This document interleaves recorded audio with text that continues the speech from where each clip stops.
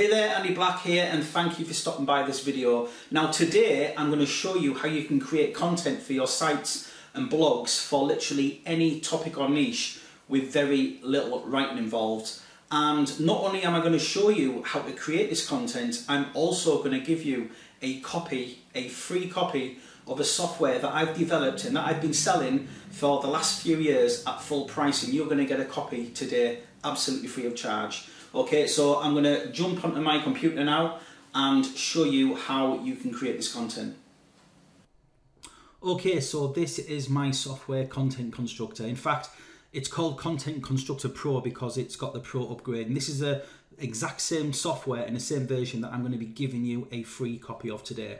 So I'm just give you a little rundown of how this software works and how you can use it to create some content that will rank in Google, that will get indexed, and that can actually bring you traffic.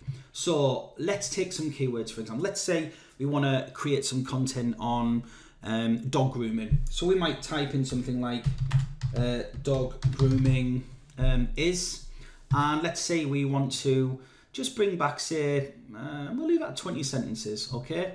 And this section here, this uh, menu here, will allow you to um, tell the software how fresh this content wants to be. So if it's on a subject that is changing all the time with technology or something like that, then you might want to reduce it to you know content within that's been published that year or that month. But I'm going to leave this set to published anytime. Okay, so I'm going to let Google basically return the snippets of content um, that it thinks is the most suited.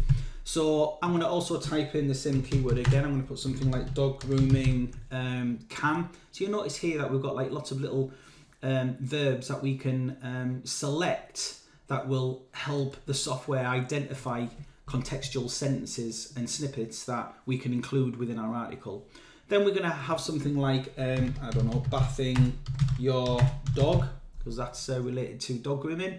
Um, bathing your dog is, and again, we'll leave these settings the same um, bathing your dog um, will um, bathing your dog um, we'll do can there. And then we're going to have something else I don't know something like um, brushing your dog is we'll leave it at that. So we can select whatever you want as long as uh, the option that we choose here flows nicely with the keyword that we use, okay? So all we're going to do then is click find some facts. And we're going to let the software do its thing and start retrieving snippets of content from all around the web that we can use within our article. So what I'm going to do here is I'm just going to pause this video and I'm going to come back when the software has finished finding this content. Okay, so just while the software is doing its thing and uh, fetching all of these snippets of content for us, I just wanted to also explain that this software is great for creating content for SEO purposes. So if you do link building or you uh, want to create a, a some kind of guest post or you're doing some Web 2 properties or anything where you might need to put some content together, some textual content to include your backlinks within, this software is also perfect for that. Okay, so the software has retrieved all of the snippets for me to um, form my article.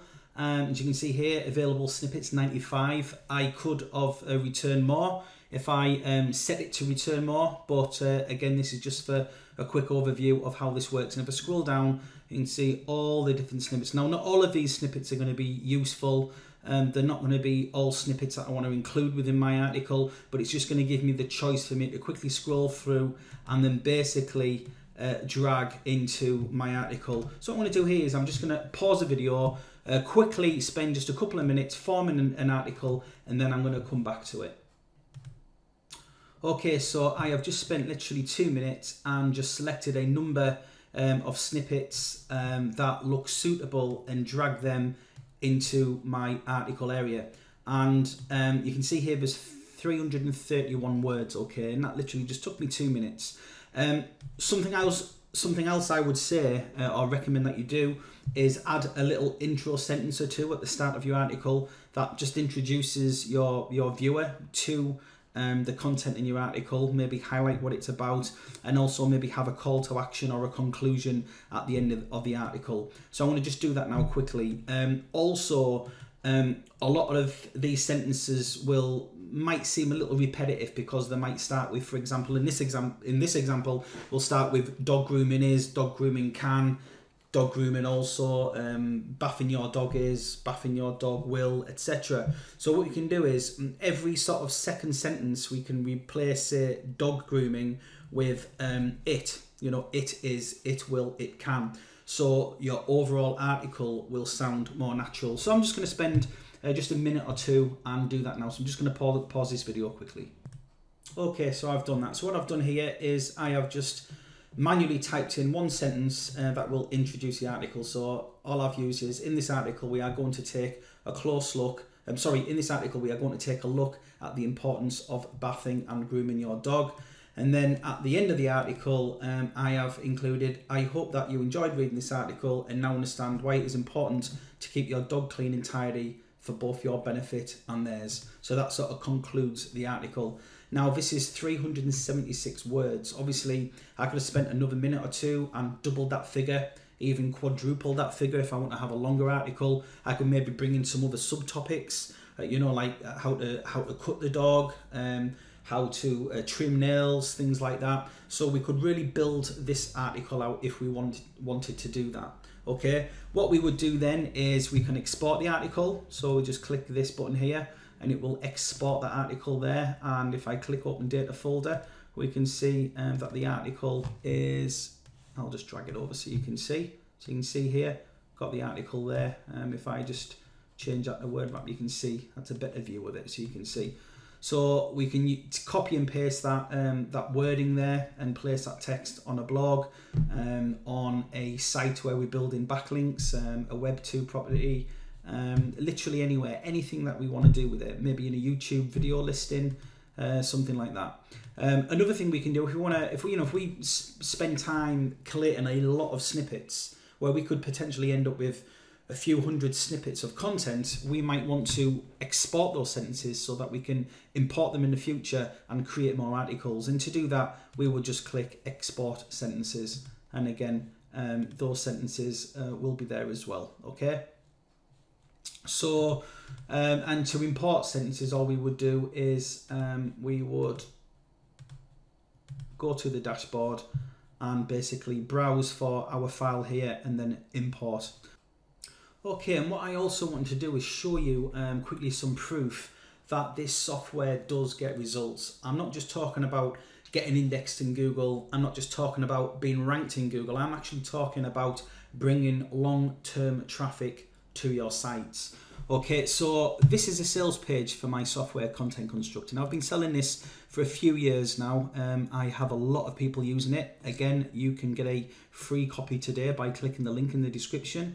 Um, it's only available through this video. Um, but this is a sales page and you'll notice on here uh, and that there's uh, some examples and there's one here, the difference between litho printing and screen printing.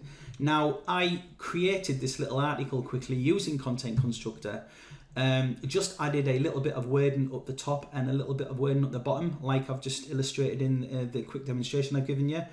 And this software ranks highly in Google and it brings in consistent daily traffic and these numbers can add up okay? So I'm going to show you the article on the actual site. This is just an old blog of mine and um, this you know has lots of all sorts of different test articles. It's not a particularly high quality blog by any means but you can see here that I've got a title here which is the, um, the difference between litho print and screen printing um, this is basically the bits, again, you can see very similar to what I've done before. In this article, we are going to talk, take a close look at the difference between litho printing and screen printing.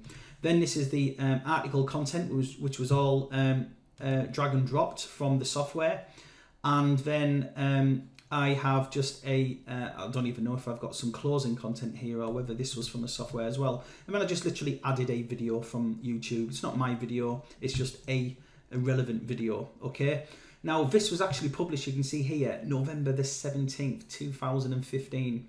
So that is, in fact, to the day, that's a, a year. So hang on, let me work this out. That's four years and two days that this was actually um, published.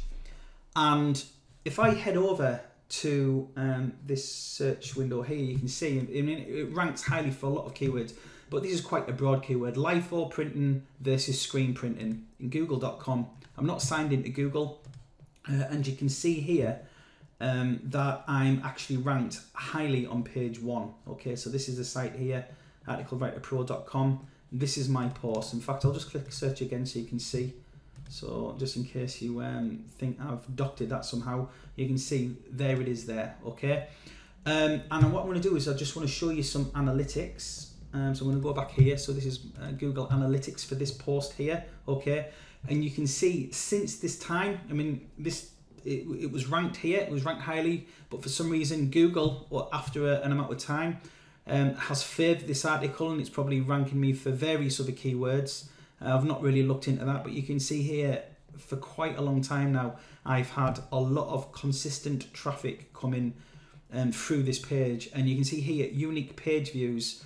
There's been nearly 1,900 unique page views from that one article. Now that one little article took me about two minutes to create. So that's two minutes to create on a subject I don't know a great deal about.